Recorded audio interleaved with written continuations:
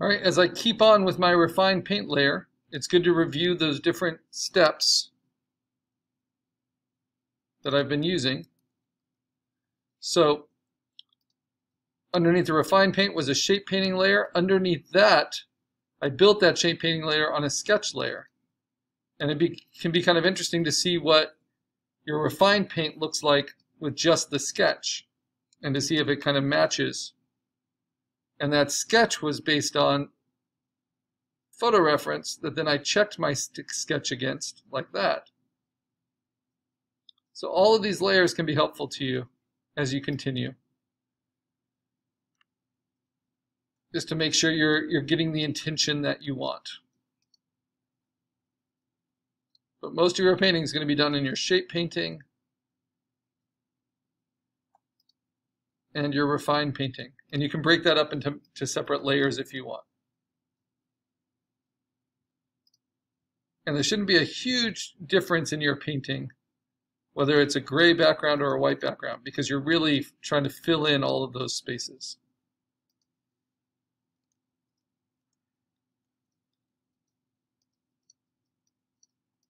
So as I continue to refine paint,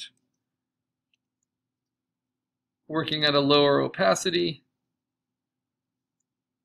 trying to address the areas that I haven't worked with so much before. They're still the same from my shape painting layer, right? So they're not really there yet. So I just need to cover everything, address everything somewhat, so there's a, an even level of finish.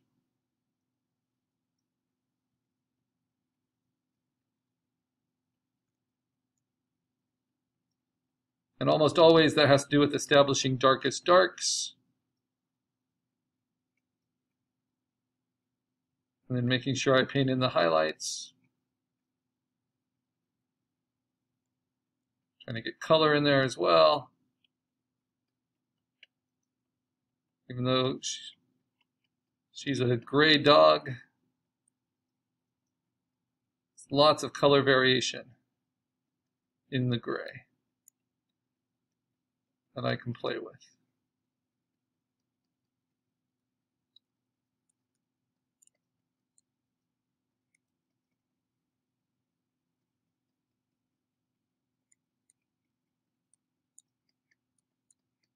And remember, to get top marks on our assignments, we're trying to engage the viewer with our project so that it's seen as art rather than just a technical exercise. That's where your experimentation, your use of color, your use of shapes and abstraction, all can be used even in just very straightforward digital painting. I want to make it yours.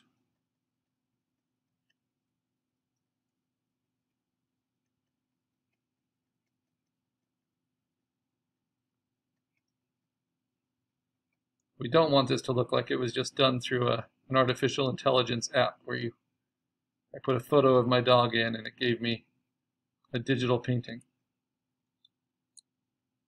We get to make our own decisions about what's worth looking at.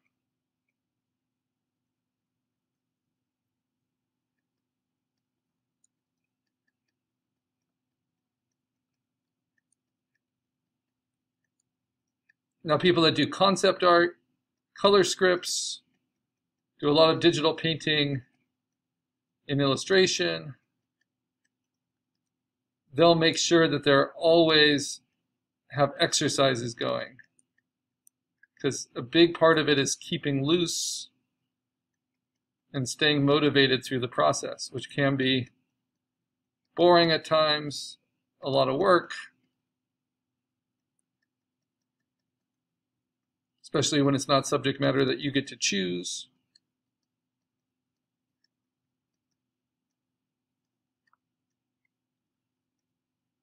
And the reason I like commercial art as a career so much is that it has a sense of play to it that you want to keep and try to retain in your professional practice. And for all of its uh, frustrations, digital painting is definitely playful. The way we can make these marks.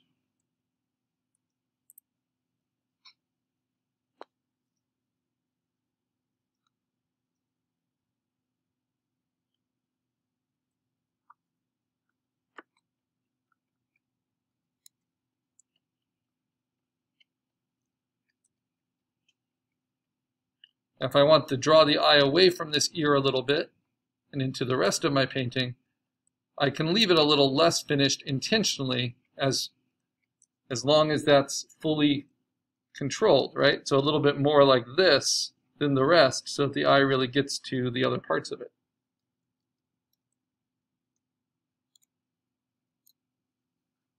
Okay, now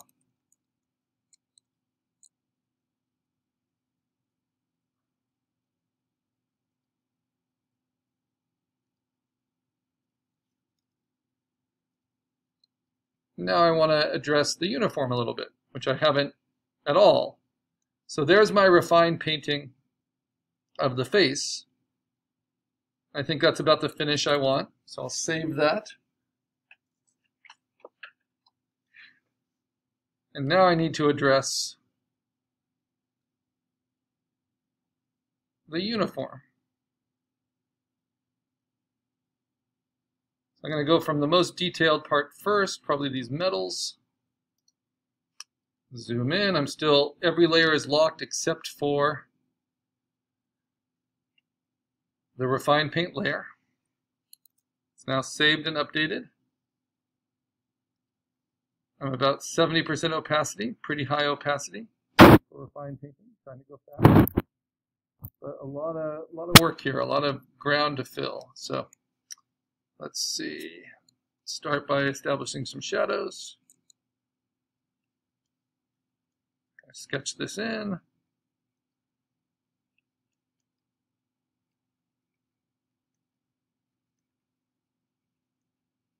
I get to determine how detailed they're going to be.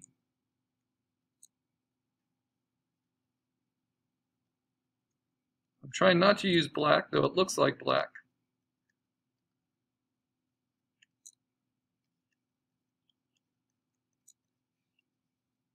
Trying to create a palette here for some of these.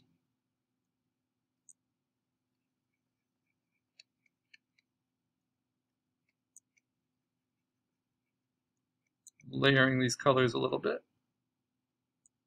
Whoops.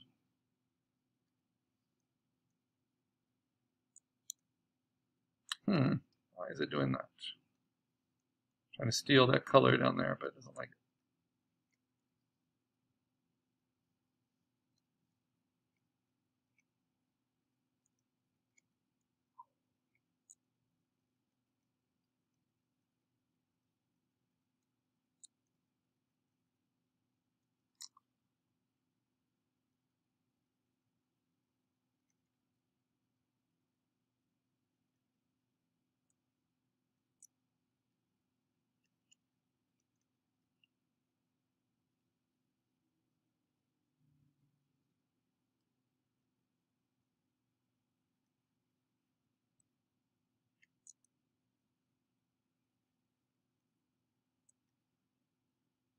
Remember, each time you layer colors, you're making it a little bit more complex. Though it takes a long time, it adds to the overall effect.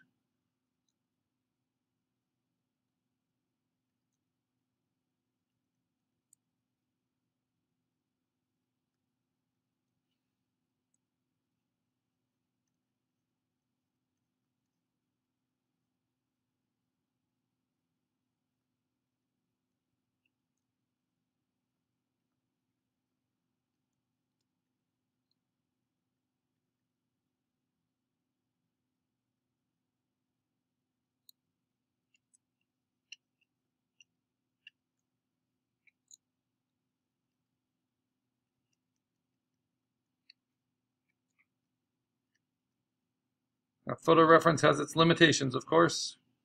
It'd be best to have the model in front of you. You can see it from the different angles. But I just want to kind of suggest with the photo reference, with my painting, the things that make sense.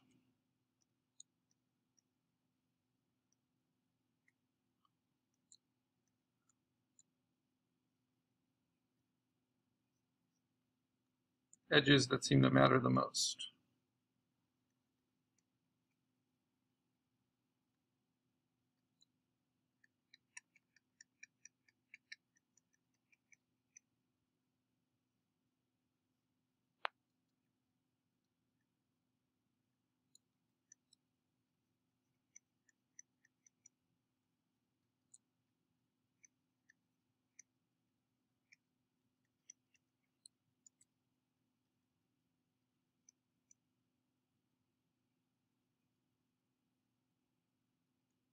And these metals just keep going. So many.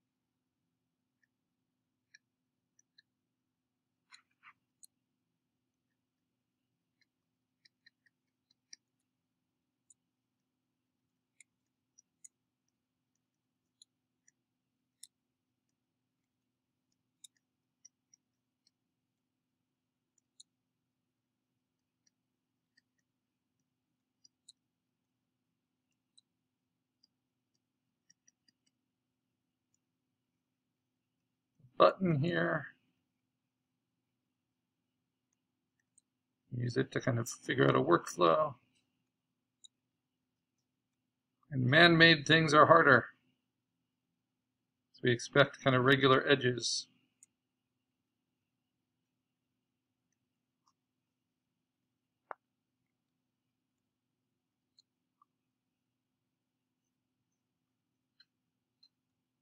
I like it in digital painting when you notice things, you see things you didn't see otherwise because of your close inspection while painting, like the red piping on the jacket. Kind of cool.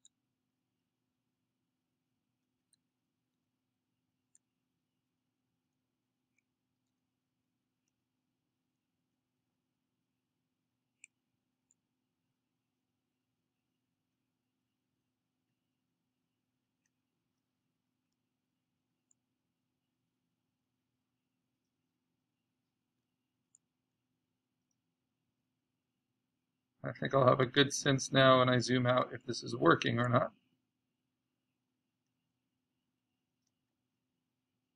Need that cast shadow beneath all of them, underneath. That's really important.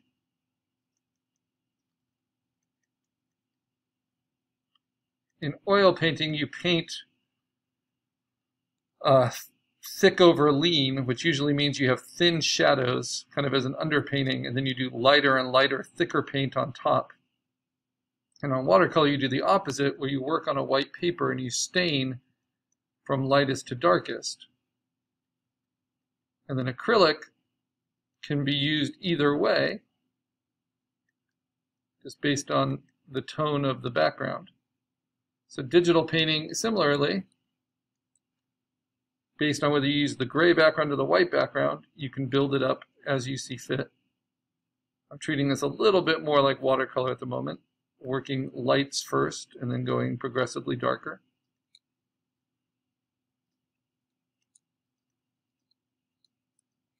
So I really want those strong highlights to come through on these metals so that they look a little shiny.